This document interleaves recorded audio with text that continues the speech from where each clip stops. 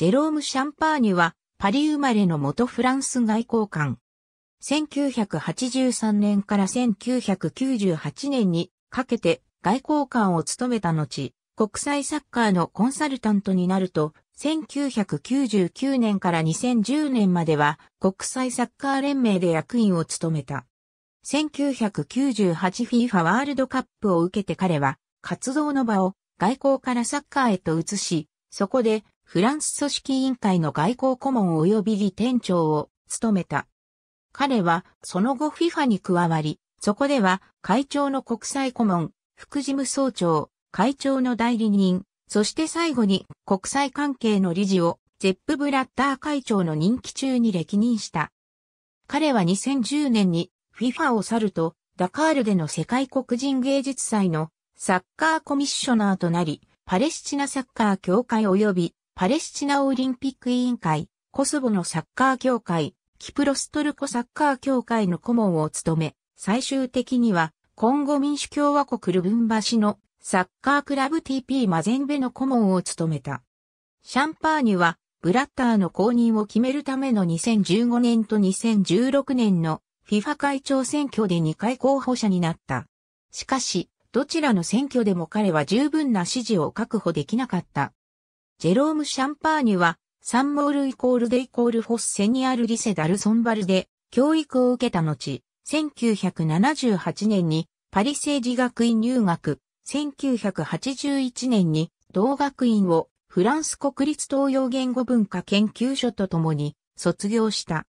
1982年にフランス国立行政学院の資格を得て、彼はその後外務、欧州問題省に同省の初期官付として入省した。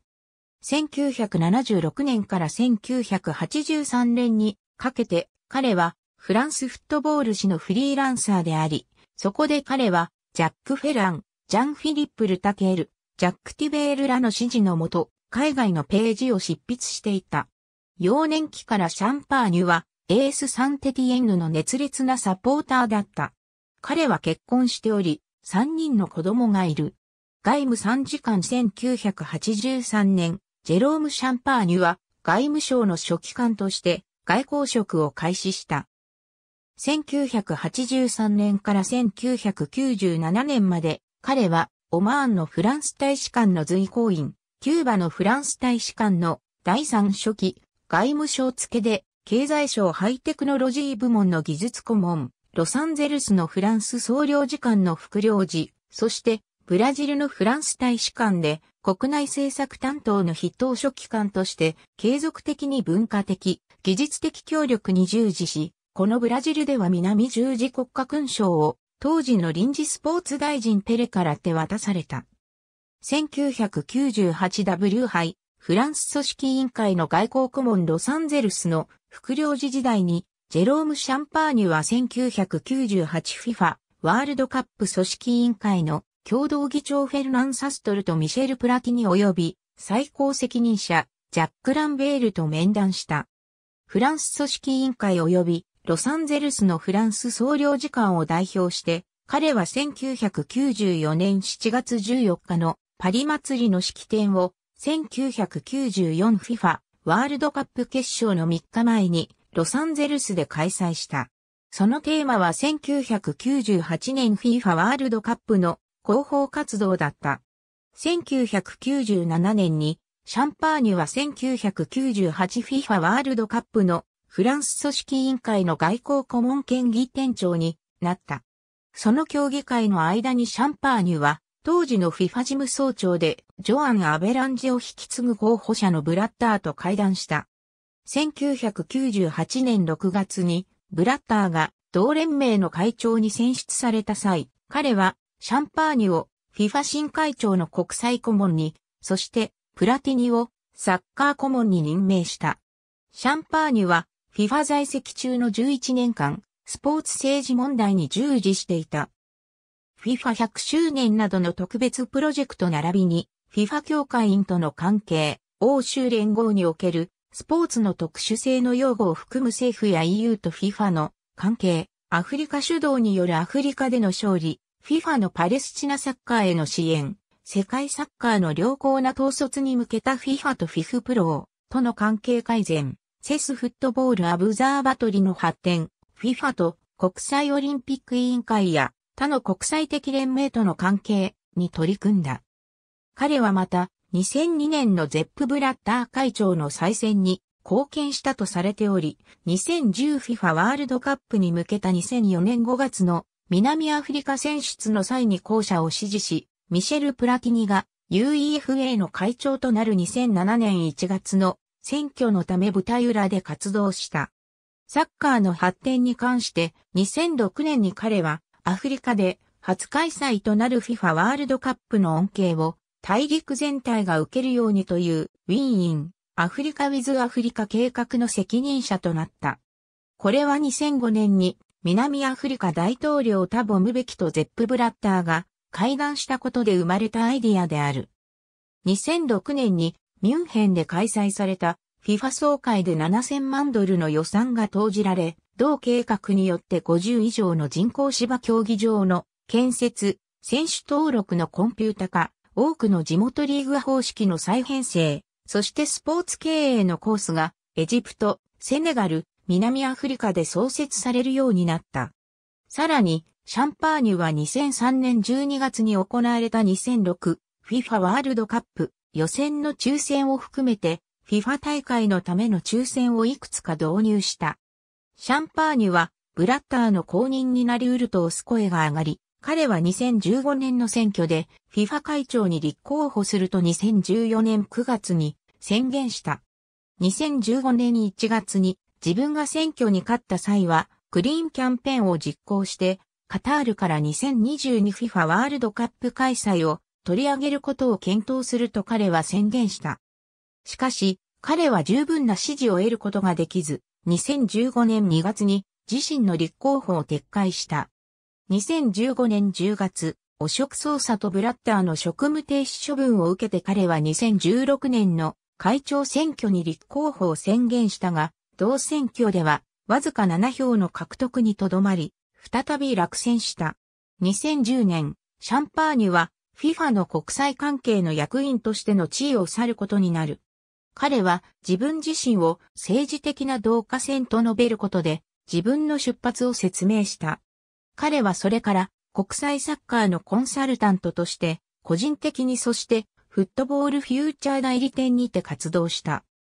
2010年にパレスチナサッカー協会の顧問に任命され、彼はそこの会長ジブリル・ラジャブと共にプロリーグの創設、女子サッカーや拠点組織の発展、歴史の中で初めてとなる 2014FIFA ワールドカップアジア予選及びオリンピック大会のサッカートーナメント出場に尽力している。彼は2010年10月にジャック・ロゲが各地域を訪問した後の国際オリンピック委員会主導によるパレスチナとイスラエル部つの国家オリンピック委員会間の親善交流において積極的な役割を果たした。また、パレスチナサッカー協会とイスラエルサッカー協会との FIFA 間の調停メカニズムの確立に向けた2013年に FIFA のゼップ・ブラッター会長が行った交渉においても積極的な役割を果たした。2011年以降、彼は国際的認知を求めるコソボサッカー連盟に助言を行っている。2011年に彼はモイーズ・カトゥンビが1998年以来会長を務めるコンゴ民主共和国のクラブ TP マゼンベの顧問になった。彼の使命は、クラブの国際化に向けて活動し、同クラブがアフリカ大陸のモデルになる手助けをすることである。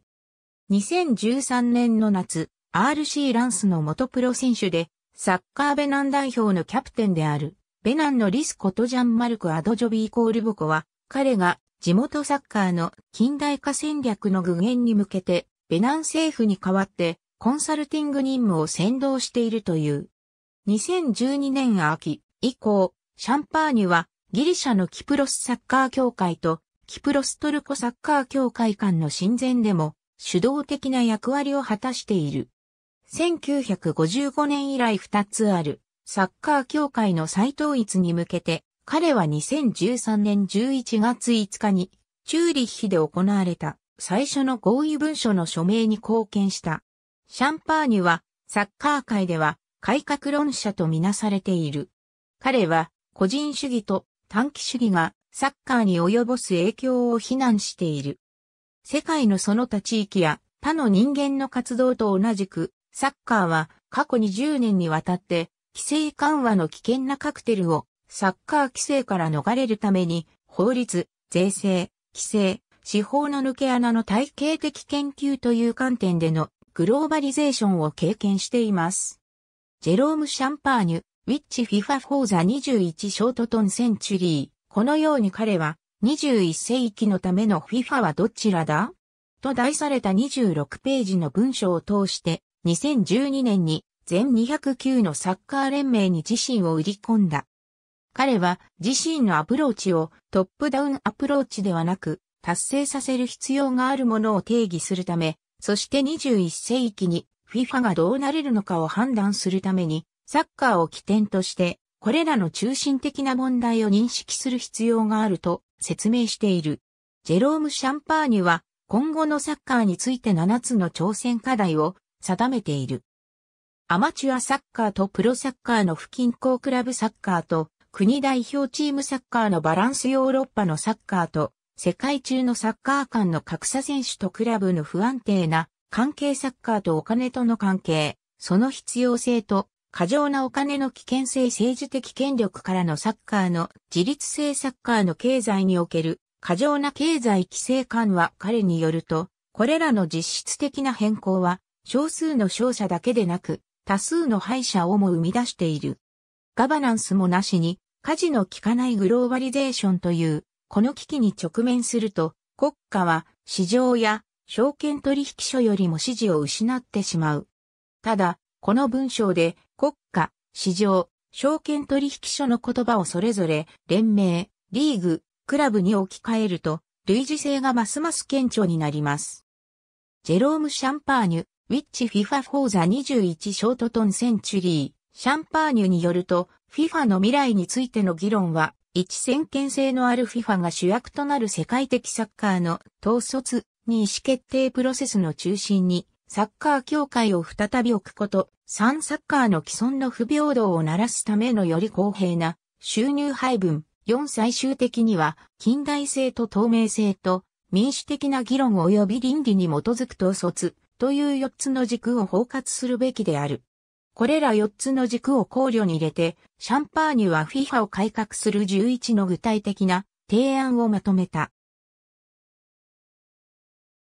サッカーピラミッドの中で民主的な議論を復活させる新しい連帯メカニズムとともにもっと多くの開発プログラムを増やす意思決定プロセスにリーグ、クラブ、選手を関わらせる連盟との関係を明確にする。一方で FA の役割と重要性を回復する。それらをよりよく反映するため FIFA を今日の世界の進化に合わせる FIFA 会長、執行委員会と協会間の権力責任を再編する FIFA のガバナンス体制を強化する FIFA 政権を改革する審判議論の分離を修正する自立のより包括的な概念を定義して導入する FIFA とサッカーの人々を再びつなぐシャンパーニュはサッカー協会の権限が拡大されることに賛同しているが彼はまた FIFA 執行委員会を24会員から31会員に広げることも提案している。これには、選手組合の会長、FIFA プロー、そしてクラブとリーグの代表が含まれる。その他の追加座席は、アフリカ、アジア、北米、中米カリブ海、南米の地域に、そして女子サッカーの予約席に割り当てる予定となっている。多くの公的介入の中で、彼はサッカー関係者間だけでなく大陸間でも権力バランスを再調整すると約束しており、21世紀の変化及び大陸、国、クラブ間のサッカーの不均衡を是正するためのより積極的なアプローチに FIFA を適用させることを約束している。ありがとうございます。